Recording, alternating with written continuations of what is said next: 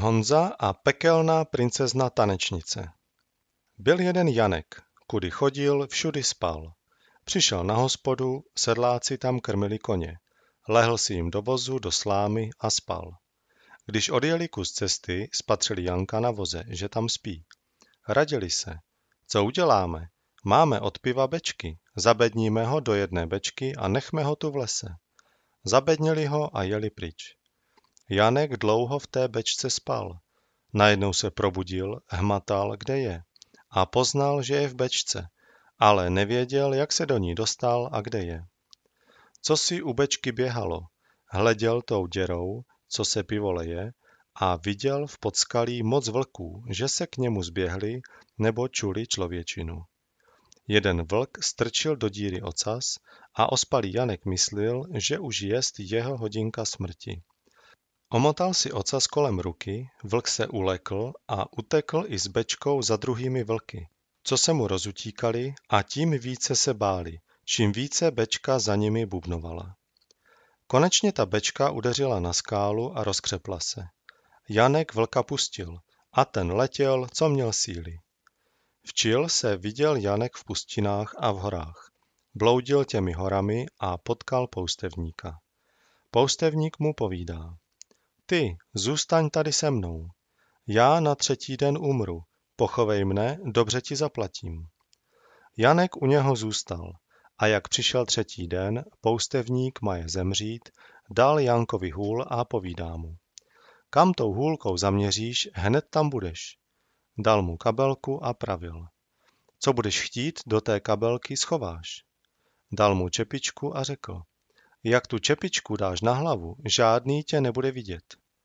Potom poustevník umřel. Janek ho pochoval, vzal své věci, namířil a pravil. Ať jsem hned tam v tom městě, kde je král. Hned tam byl a uslyšel, že královna zedere každou noc dvanácteré střevíce a že ji žádný nemůže vyspitovat. Zbíhali se páni, že ji vyspitují a Janek šel též. Přišel do paláce, dal se u krále ohlásit a když před něho přišel, pravil, že chce královnu vyspitovat. Král se ho ptal, kdo pak ty jsi? A on odpověděl, ospalý Janek. Král mu povídá, jak pak ty mou královnu vyspituješ, když pořád spíš? Jak ji nevyspituješ, budeš o krk kratší. Janek povídá, že ji vyspituje. Jak přišel večer, královna si lehla do jedné světnice na lůžko a Janek do druhé světnice, kudy ona měla jít. Janek nespal, ale jak královna šla, dělal se, jako by chrápal. Královna zažehla svíčku a pálila mu na nohách na podešvy, aby zvěděla, že tvrdě spí.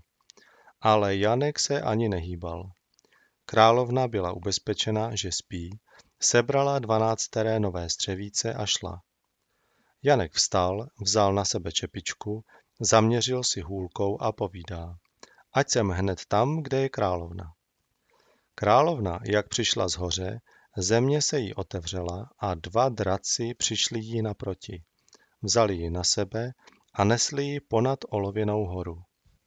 Janek praví, ať jsem hned tam, kde je královna.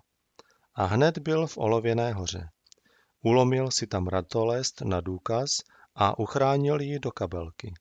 Ale jak ji ulomil, zabřanělo to, jak by zvonkem zazvonil. Královna se lekla, ale jela zas dále. Janek namířil hůlkou a pravil.